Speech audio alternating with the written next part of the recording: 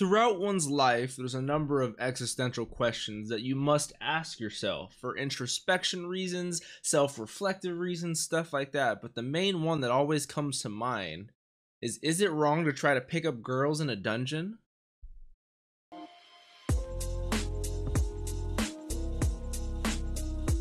What's up, Dapper Squad? It's your boy Darius back at it again with a new show. The show that's going to be replacing Seven Deadly Sins Season 2. No, Season 3 did not win. It did not even come close to winning, which a lot of you expected, of course. But I will be honest with you. This show, Danmachi, um, or Don Maki, I actually don't know how to pronounce it. If you guys want to let me know, I don't want to sound like an idiot, which I always do. Um, Danmachi actually squeaked by and won the poll by about five or six votes the last time I checked. Literally barely won. And some of you are very upset because you wanted Unlimited Blade Works to, to win, and I understand that. But when any poll ends, and if even if it's two, three, or four choices, if the top choices are close like that and it's a battle and one barely squeaks by, it automatically guarantees the ones that lost are going to be on the next poll like no matter what show it is because it's clear that a lot of people want to see him so don't fret guys. I know it's going to be a while before we finish Haikyuu or black clover so this is going to be the next show that's going to be replaced. But i'm sure unlimited blade works is going to be coming real soon so don't you guys worry and if i'm honest with you it's personally a little bit better for the channel that i don't have shows that i have to redirect to right now for um, algorithm purposes watch time monetary purposes it's a lot better for my channel if i don't do redirects and so that's why sometimes it sucks to do redirects, but you know, I always do what I can for you guys to make sure you guys get the best viewing experience you can. With that being said, what do I know about this show?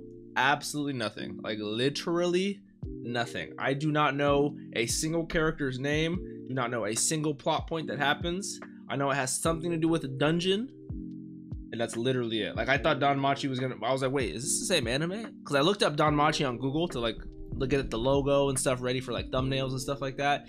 I'm like, is it wrong to try to pick up girls? And I was like, is this the same show? What am I what am I watching? What am I looking up? But uh I'm excited. I know Kimchi and Tofu personally have reacted to it. I know Can't Stop Amani, shout out them. They've reacted to it at some point. I don't know if they've enjoyed it. I haven't talked to anyone about it. I actually don't even know if the copyright's going to be okay with this. I got to hit up Amani after this.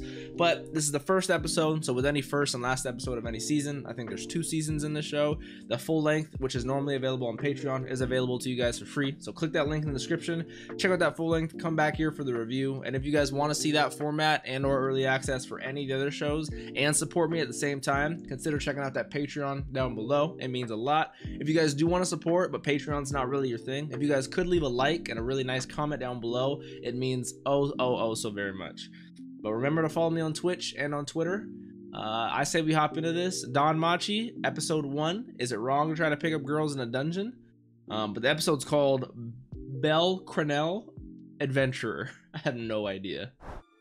We gods, we gods, talking to the first person. Okay.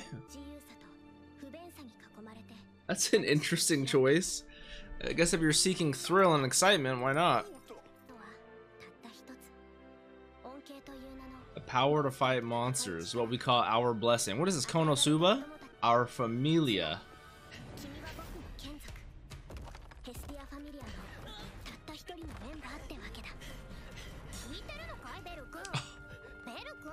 Bell. Oh, okay. I was not expecting action. I was expecting more of a Konosuba type show. She looks like Darkness from Konosuba. But that Minotaur got fucked up. Okay, I was not expecting that at all. This is already...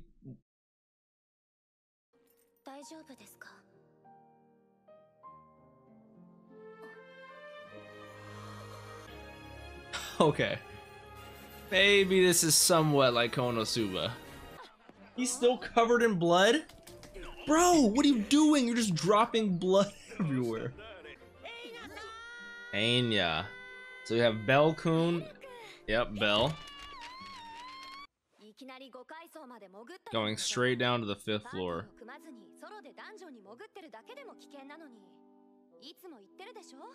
He's got a little dagger. Level 1. That's true.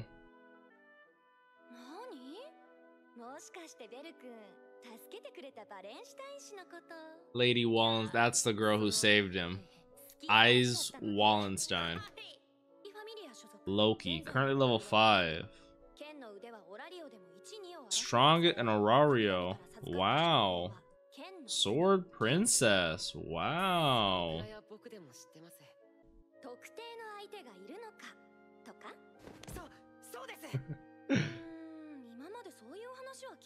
okay, but you know, she might be focused on other aspects of her life. Oh, Loki family. Yep. So the gods have their own individual families that they give you the blessing. You become a servant of that family. Got it. Jesus, those are very small little. Yep. 1200 valis. I'll be honest, I'm getting huge Konosuba vibes from this, but I love it. I love Konosuba. Ah, See, I'd be working hard to get her. Eina. I love you too. That's what I'd be saying. I love you.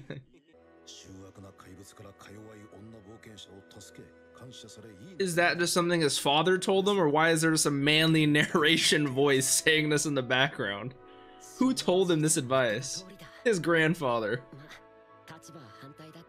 Yeah, except she saved him this time. That makes sense.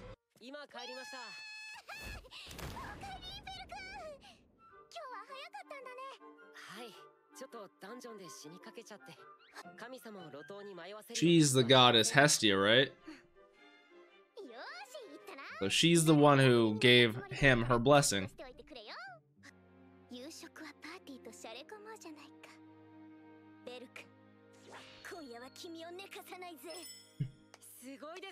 She seems super fun and happy, and I like her, but there's a certain part of her that I really like. I can't put my finger quite on it. Eh?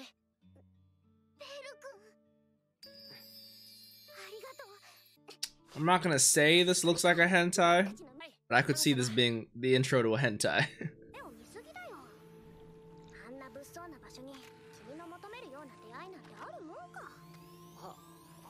Why does they have like a, a grid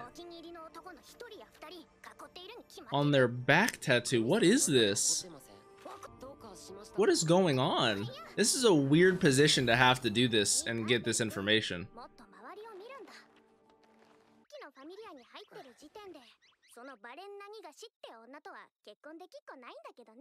That is true. Different family. I would be taking her advice right there. Those are his stats. So you have to access their back tattoo to get their stats and their level ups. That's interesting.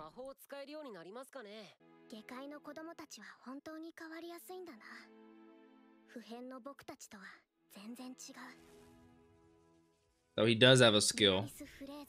Realis Phrase. To go to grow.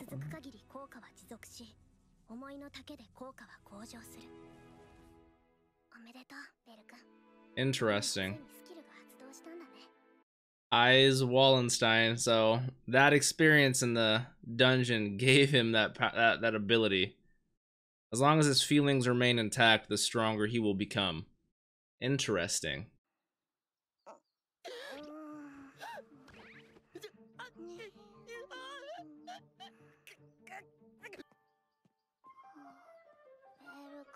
I'm saying, stupid Bell-kun.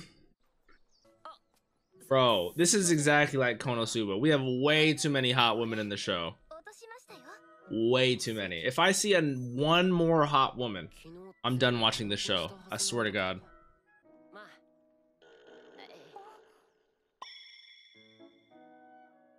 Don't tell me she gave him that too. I don't know who I want to be with now.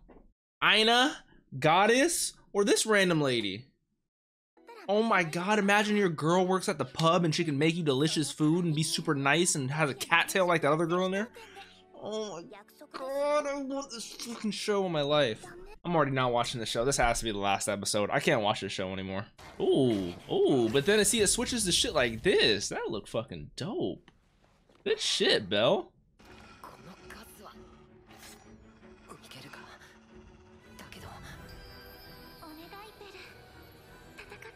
Think of Aiz.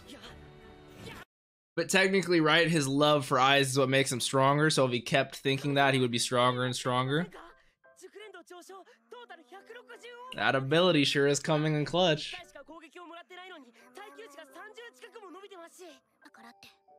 It, that skill that's attached to his affection for someone else. I feel you. Got it. I'm right here. I feel you, girl. Don't worry. There's no way though. This is a this this has to be like Konosuba where something has to go wrong for Bell. There's no way everything is gonna go this right for him. There's just no way.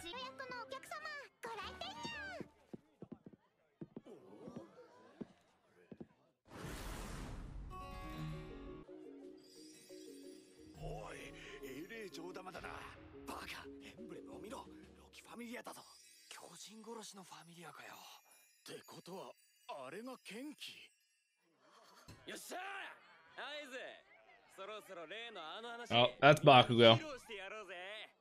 That's Nishinoya. I can recognize that voice from a mile away.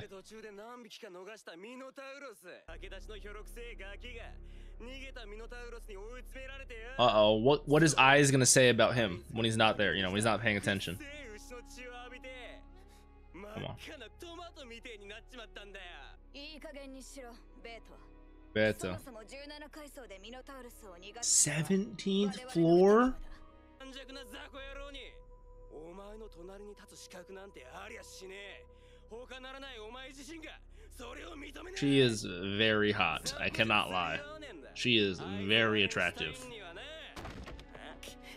Oh, he ran out of there. He, he ran. I said rans. He ran out of there again. Damn it.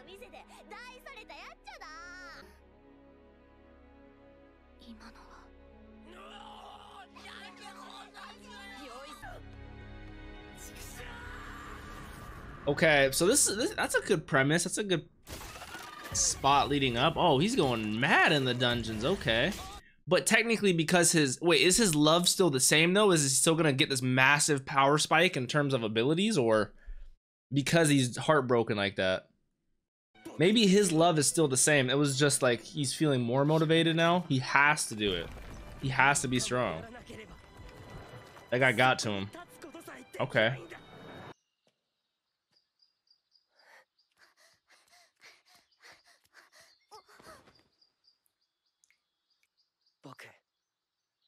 強くなりたいです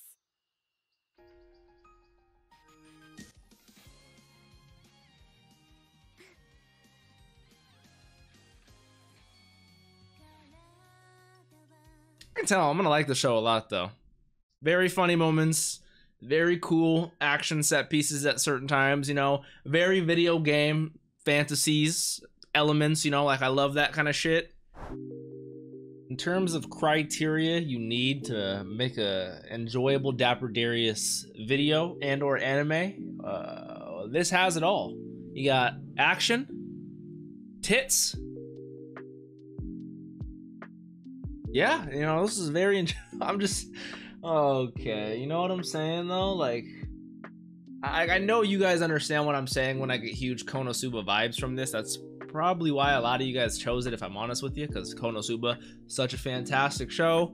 You guys had such a fantastic time watching it. I had such a fantastic time watching it. You guys had such a fantastic time watching me watch it, you know? I could see where this relates to it, but it's definitely different. Definitely. Like in Konosuba, uh, very similar aspects, but like a, a, very similar thing where I can I can see in this also in Konosuba as I can't really, especially in the first episode, see an overarching overarching plot right now. Like, yeah, you know, is it wrong? I think long story short, is it wrong to pick up a girl in a dungeon? No. Especially if you do it like the way old late grandpa said, you know, save her, you get you know get to know her talk to her fall in love. That's just a classic love story in an rpg right there. That doesn't happen in real life because there's no fucking dungeons. Like if there was a dungeon right over there I'm, I'm going in there right now. I'm saving all the girls. That's just how it's going. But you know you know i don't have my own dungeon sadly. Oh my god bro. I cannot stand how many hot women there are in the show and i cannot stand how many of them like Bell. Interesting name, by the way. But it's the exact opposite.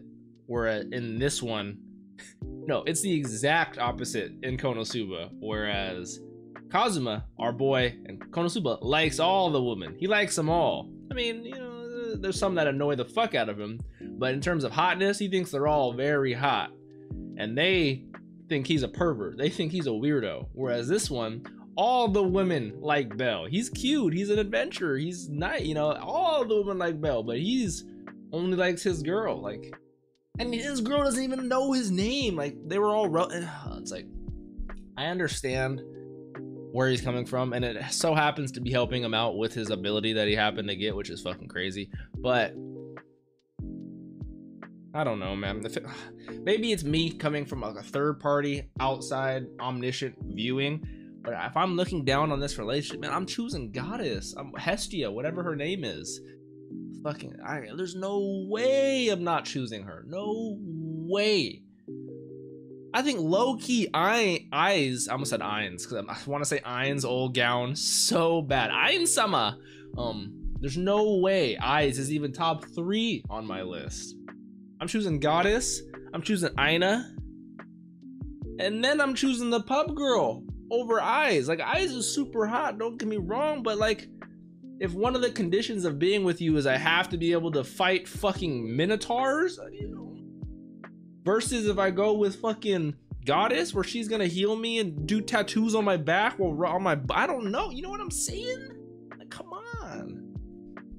I do think the the god aspect of it is very funny because it seems to be uh, Greek mythology. I mean Norse mythology. Greek would be Zeus, Poseidon, all that. Norse mythology is uh Wait, is Hestia from Norse mythology? I just know Loki is, and Loki.